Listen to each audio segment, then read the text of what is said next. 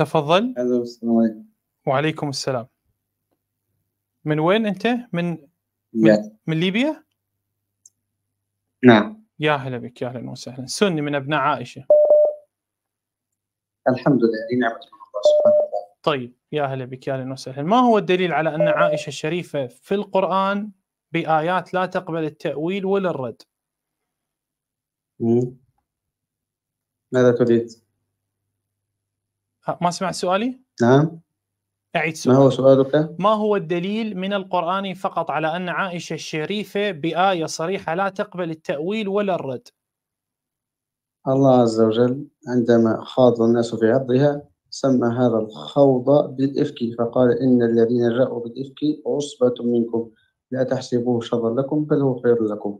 فسمي هذا الخوض في عرض عائشة رضي الله عنها الله بالإفك والإفك كما هو معلوم الكذب والافتراء.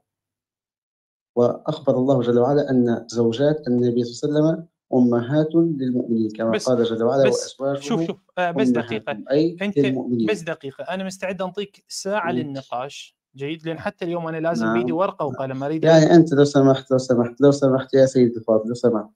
يعني أنت تقيم دينك كله على امرأة ماتت منذ إن شاء الله إن شاء الله جايك جايك. الآن الأخوة جاي يشووا لك إن شاء الله إن شاء الله جايك. شوف شوف غير الموضوع.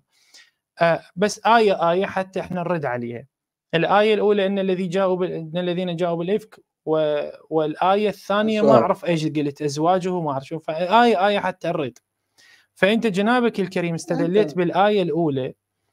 على الذين جاءوا بالإفك أن الخوض بعرض نساء ال- النبي هو شيء أن الله قد حرمه.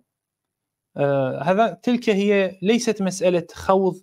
ها أنت قلت قد قلت لي أن فيه كذب وفيه افتراء.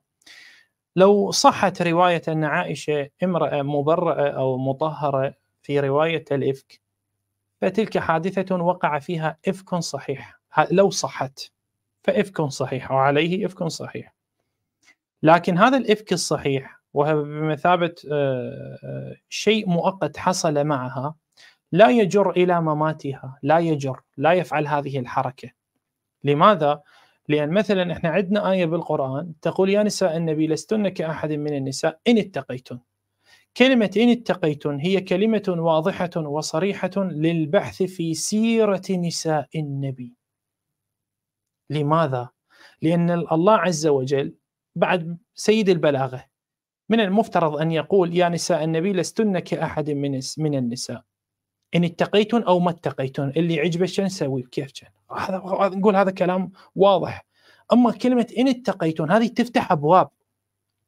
لماذا الله عز وجل هدد نساء النبي بكلمة إن اتقيتن؟ ثم جاءت التهديدات الأخرى من يأتي منكن بفاحشة مبينة يضاعف لها العذاب ضعفين. لماذا؟ ما هو السبب؟ السر هو هذا أن الله فتح لنا الأبواب في أن نخوض بعرضها. نخوض بعرضها. هذا الخوض أو هذا الخوض مثلا هذا الخوض بعرضها هو خوض أو خوض سميه ما شئت. إما يكون من مصلحتها لنتأكد هي من النساء اللاتي اتقين فنقول رضي الله عنها وأرضاها. وإما هذا الخوض يخرج لنا قضايا منحرفة قضايا وسخة قضايا قذرة روايات جنسية فنقول هي ليست من اللاتي اتقين فالله عز وجل هو فتح باب الخوض في عرضها وفي شرفها حتى نتأكد هل هي من الذين إن اتقيتن أم غير متقية. فلا بد أن نتأكد وعليه نعود إلى رواياتها مع الرجال المؤجنبين كما جاء في صحيح البخاري ومسلم ونكتشف أنها امرأة غير متقية. فلا بد أن نخوض بعرضها لنكتشف. كما هذا أنا أتكلم الآن في دين السنة. لا أتكلم كشيعي أبدا. اليوم كلامي وياكم 100% كسني وهو دائما طبعا. هذا الآن أنا أتكلم كسني. فلا بد أن نخوض بعرضها وأن نبحث في عرضها وأن نفتش لنرى هل فيه فحش هل فيه خبث هل فيه انحراف؟ لنقول هذه منحرفة.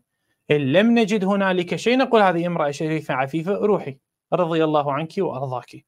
فاذا اذا الله عز وجل أشار إلى هذه النقطة بكلام أن تأتي بفاحشة وبكلام أن ممكن أن تكون امرأة غير متقية. فهذا ليس دليل واضح وصريح من القرآن يثبت براءه وشرف وطهارة عائشة. هل لديك دليل ثاني من القرآن يثبت أن عائشة شريفة وعفيفة لا يقبل الرد من عندي ولا يقبل تأويل ثاني؟ هذا ليس دليلا بالنصب لا بضفعه. أنت لا تتقن اللغة العربية. أنت معي؟ إيه، تفضل. أنت معي؟ الكلام لك اي نعم تفضل. وهذا خطأ خطأ نحوي لا يقع فيه إلا أحمق مثلك. على كل حال. استغفر الله. أنت معي؟ إيه. أنت معي؟ هل تريد أن هل تريد أن ألعن عائشة؟ لا لا لا أنت ترى أنت تزيد على نفسك وزرا على بعضك وزرا انت لا أنا إذا لعنتها بسببك فأنت المسؤول.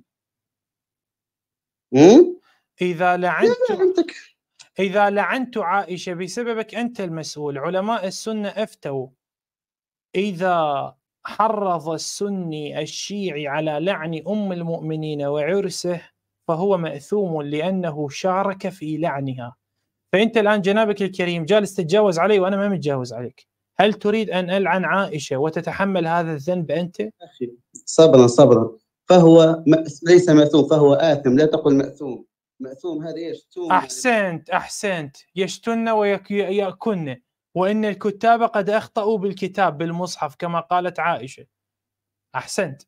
فانت جنابك الكريم من تريد تريد لا تتجاوز. يعني حاول تطلع أخلاق نبيك الوسخة في صحيح مسلم باب من سبه أو لعنه وهو ليس أهلا لذلك. أنا الآن ما أستحق السبني. لا أنا سابك لا متجاوز عليك. فليش تتجاوز علي؟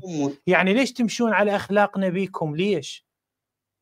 خلوك خلوكم على أخلاقكم الطبيعية وهي أن لا تسبوا الناس الذين لا يستحقون. نبيك كان مخبل مجنون يهجر يسب الناس. في صحيح مسلم باب من سبه أو لعنه وهو ليس أهلا لذلك. أنت لا تصير مثله. أنت صير أحسن منه صلى الله عليه وسلم. حاضر. أحسنت حاضر يقول حاضر صير أحسن من عنده. هل لديك آية ثانية تثبت بها شرف عرض عائشة؟ طيب أنا أعتذر منك على قولي أحمق. طيب. طيب شكرا لك. لأنك أخس من الأحمق. الأحمق هذا شريف أمامك. يلا تفضل. لا. طيب. أخلاقهم. قبح. قبحك الله. طيب نكمل الآن نتكلم الآن شوف شوف هذه أخلاقهم مو بيده. نعم نعم. مو بيدة إخواني مو بيدة والله العظيم مو بيدة. امرأة عائشة أمهم كانت معروفة معروفة بالتجاوز والله العظيم. معروفة لسانها كان جدا سليط بالسب جدا.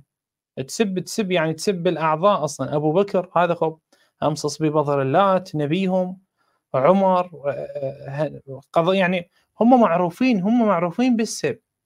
هم معروفين دين دينهم دين وسخ. الدين وسخ فلعنة الله على عائشة الزانية. الله أكبر الله أكبر. لا تزيد عائشة إلا رفعة ولا تزيد نفسك إلا ذلا وخسه على كل تعرف وين أضرب شفت إيش قد حكيت ما تأذى. سبيت نبيه ولا يمه بس قلت عائشة رب رب أحترم.